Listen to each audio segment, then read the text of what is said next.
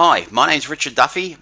I am the SAP Business One product evangelist. On behalf of everybody at SAP, I'd like to welcome you to the second of our presentations, which is covering the topics that we discussed with partners at our field kickoff meeting 2012, which, as many of you know, were held uh, in four regions all around the world.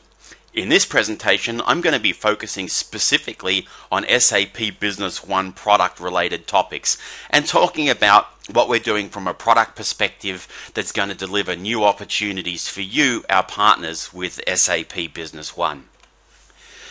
I'm going to be covering some specific topics that are related to future developments with SAP Business One. So, important to understand that you should not rely on this uh, presentation alone when you're making your planning decisions. I would encourage you make sure that you are in touch with your SAP Business One channel manager and your local product experts to validate any of the future statements that I'm going to make in today's presentation before you make uh, your plans about what you're doing from your business. Okay, so important to understand that. And of course, that's no different to any software company anywhere in the world. So let's talk about our, our roadmap. We have a clear and solid product roadmap for every single one of our releases that come out as part of our distinct release strategy. So whether it's our release family 8, 9, or 10, each one of those releases has a, a, very, very clear product roadmap with the details provided of what's coming in that release and what our future plans are. But one thing's consistent is that we plan to deliver innovation to our customers without business disruption. We'll be having our major releases every two years with minor releases every six to nine months. So, as an example of that, SAP Business One 8.8 was released in 2010 8.81 is now in general availability, where in 2012 and 8.82 is now in ramp up. Release 9 will go into ramp up in Q4 of 2012, and then that will be followed by a 9.1 and a 9.2. And of course, then SAP Business One version 10 is currently planned for 2014. So it's very clear that we are offering a pathway to growth for the future. From a Business One perspective, we'll continue to focus on these innovations, as I said, innovations without disruption, and innovations around four key areas. Of course, around the core, then leveraging the technologies and the innovations that are consistent across the entire SAP product family in memory, mobility, and cloud. From a core perspective, though, You'll see us continuing to deliver enhancements in the core, and I'm going to talk more about that in a second. And that core is supported with the Business One Studio, which is what you might be familiar uh, with as the uh, the Business One SDK, together with some additional tools to make it even easier to build and deploy solutions. Our analytics today, which is powered by SAP Crystal Reports, Business Intelligence on Demand, and uh, SAP Crystal dashboard design. Our future product, SAP Business One Analytics powered by SAP HANA. All of those core components, of course, built on top of and utilizing the SAP Business One core and the integration framework, which is also then leveraged by our partners and, of course, by us at SAP to deliver add ons and industry solutions, cloud based extensions, web services, and apps as well as being able to integrate with networks for business to business, collaboration, and business to consumer, and of course, our mobile solutions built on top of that integration framework. So that's the four key areas that we're going to focus on. So let's now drill down in a little bit more detail. Business One 8.82, our current release that's in ramp up. We've got more than 20 sites who've gone live since the beginning of ramp up. And in fact, the ramp up and the product quality has been so strong that many of our mandatory countries have already achieved their minimum ramp up live sites. So those mandatory countries have to have a minimum number of customers go live before we can exit the ramp up. So our planned general availability for 8.82 is going to be in Q2 of 2012. So mark your calendar, uh, start thinking about Q2 and how this is going to impact on your product rollouts for your customers. Let's just quickly review again what our high level scope was for 8.82 for those of you who haven't really had a chance to drill down in a huge amount of detail. There were four key areas that we wanted to focus on enhancing our standard business scenarios to increase our business scenario coverage and legal compliance, enhancing our reporting and analytics platform and the user experience. And again, that's around this concept of providing instant insight that allows our customers to take action. We want to continue to focus on reducing our total cost of ownership by enhancing the SDK and our supportability. And you've seen that with some of the things that we're doing around the remote support platform. And we've continued to enhance our infrastructure to improve the upgrade user experience and stability as well as performance. And I, have got to tell you, as somebody who runs and manages a number of demo uh, infrastructure pieces with you know up to 40 or 50 databases, I have seen firsthand how well that upgrade wizard, those um, in infrastructure enhancements have been executed inside the product. So then let's break it down and start looking at it from an investment decision perspective because oftentimes people ask, well, how does SAP decide where they're going to invest in making changes and enhancements in the product? Well, there's four key areas business logic and legal compliance, infrastructure and lifecycle management, SDK and partner enablement, and reporting and analytics. Again, as I said, those same four points. So, with 8.82, from a business logic and legal compliance perspective, we streamlined a lot of the out of the box business processes like make to order and some MRP enhancements. We incorporated blanket agreements. We extended significantly the functionality of the CRM capabilities of SAP Business One with campaign management, added the ability to do interest posting with Dunnings, credit memo enhancements, pick and pack enhancements, and so on. We extended our country legal compliance and best practices. For example, with the extended tax reporting uh, in a number of countries around the world, and we did a lot of work to take some of those add ons that provided legal compliance and merge those back into the Business One core. From an infrastructure and lifecycle management perspective, we've in- enhanced the performance of the master data lookup and selection process. You know, our target was 50% and we've we've really focused a lot on making sure we could deliver those performance enhancements. We've extended the capability of handling very large reports with some engine updates and engine enhancements. From an upgrade perspective, we've improved the upgrade experience by reducing downtime, improving the usability and performance to save cost and time for you as partners. Things like, you know, the pre-upgrade checks uh, and the way that entire upgrade wizard works. It's a phenomenal piece of work by the team building that that automated upgrade of the Business One client and the add ons for normal end users has been streamlined. So there is less downtime, less disruption, and less need for the end user to be involved and engaged in that process. And we've reduced that client upgrade time by 50%. We've done new documentation for additional 120 error messages in the Business One client, and we released the version 2.3 of the remote support platform to further automate that support and maintenance. And again, I would encourage you if you are not using the remote support platform today, you are missing out on a huge opportunity to drive down your total cost of uh, uh, management for your SAP Business One customers and also to help them drive down their total cost of ownership. Let's then talk about our investment dimension around reports and analytics.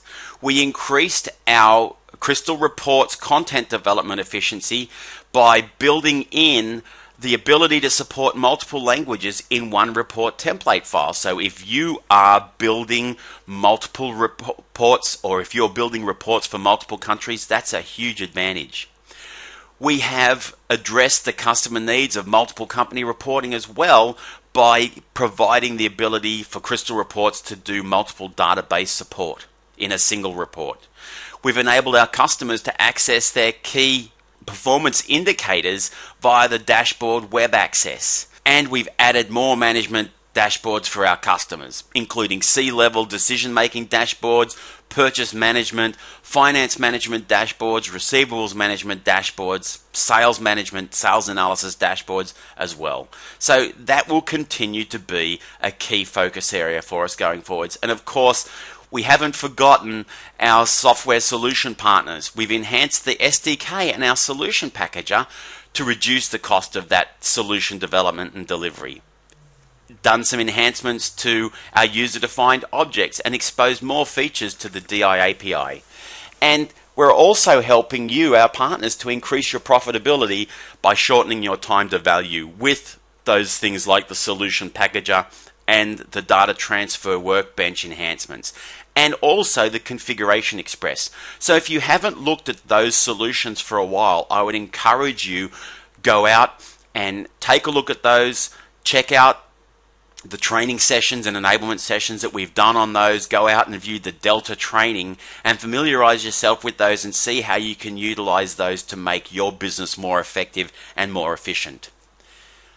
Let's talk about what's next from a Business One 9.0 perspective. What's our core focus here? It's around enriching those business processes that we have today and functional features to achieve or exceed the level that our competitors are at. We want to also improve the integration, increase the coverage of large account subsidiary integration because we have more than 1,500 large account subsidiaries or affiliates who are utilizing SAP Business One today. And we recognize that that is a core area where we have a particularly strong value proposition, so we want to enhance that. We want to make it easier to implement, customize, and extend the solution. And we're going to do more work around merging SAP add ons into the core to reduce the product overhead. What's our timeline for version 9? Well, the version 9 release to customer is planned in October 2012, which of course is one year after release 8.82. Now, again, remember, release to customer, that's what we talk about, that's when ramp up starts. So, that major improvement in that business scenario enrichment, infrastructure enhancement, and partner enablement will really kick in in you know the November December 2012 timeframe. So you can see a little bit of a map here of exactly how that works. So we're still in our development cycle for 9.0. Then we move into our acceptance testing, our validation, and then our ramp up. So what are some of the highlights and major functional enhancements that are coming in SAP Business One 9.0? Well, because this is the next major release in our family, we're going to be addressing some of the top market requirements. Now, also important to note that this is a partial list of requirements and the scope is subject to change according to market feedback. But we're mainly focusing on further enhancing the key functions, improving integration, usability, and extensibility. All right, same things as I said in the previous slide, but again, want to make sure it's very clear that you are able to understand and articulate what it is that Business One 9.0 is about. Business logic enhancements will include things like bin locations. I hear a number of you applauding um, loudly in the background. Multiple units of measurement, uh, functionality enhancements around our price list stock counting processes, enhancements around our serial and batch costing and fixed assets, doing some work around country localizations and best practices for the countries where this applies, which is not every country, only some countries have this as a legal, uh, legally permitted process, but you'll be able to cancel marketing documents. Doing grossed up prices, deferring tax, uh, deferred tax enhancements, uh, international financial reporting standards. We'll also be doing work around enhancing that from an infrastructure perspective, 64 bit support, which will enable you and your customers to take advantage of the next generation of hardware and operating systems for performance. Enhancing data privacy, continuing to do more work around optimizing our database locks, which, as many of you know, are one of the areas in most transactional applications that can cause uh, performance issues is managing this contention amongst multiple users. Single sign on, giving Business One users the ability to use their domain account to log on. Around the business infrastructure, doing more work around enhancing the mobile framework, and I'm going to do another presentation a little later on that was presented by our chief architect, Gao Peng, and I'm going to explain to you some of the things that we're doing around that. But also working in this concept of the implementation center. So taking that functionality and building it into, if you like, almost like work centers based on the tasks that are being done. More enhancements around the Business One Studio. We'll continue to do more multiple language enhancements from a reports and analytics perspective. We'll be re- supporting the latest version of Crystal Reports 2011 and more. From an SDK perspective and a supportability perspective, doing more work around enhancing our upgrades, again, more DI and UI API enhancements, expanding the capability and functionality of the remote support platform, and many of you will be aware that we're currently we currently have a framework that manages logging, logging of errors, logging of user activity. We'll be doing some enhancements of that logging framework as well. So they're the key things that we're going to focus on for version 9. So in summary, what does this mean to you, our partners, and of course, our customers?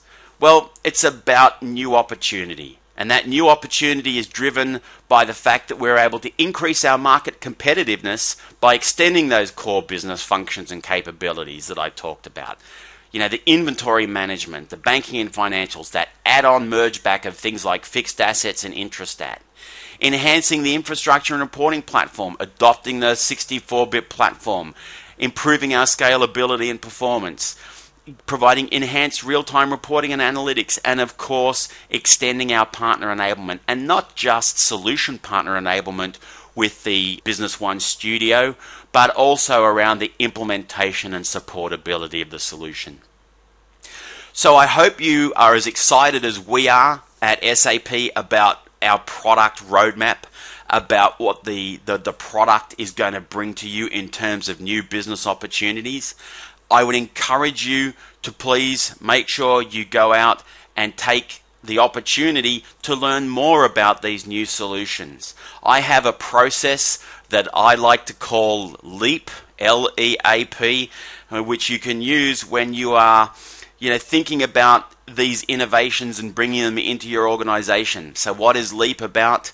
Learn, evangelize, adopt, and then propose. So, first step in this is really about learning. So, I encourage you go out to the channel partner portal, view the Delta training that's there, get in touch with your local product experts, keep uh, your eyes open on our social media sites like YouTube, Facebook, uh, Twitter to make sure you're up to date and keeping on top of all the latest things that we're doing from a product perspective. So, with that, I'd like to thank you for taking the time to watch this presentation.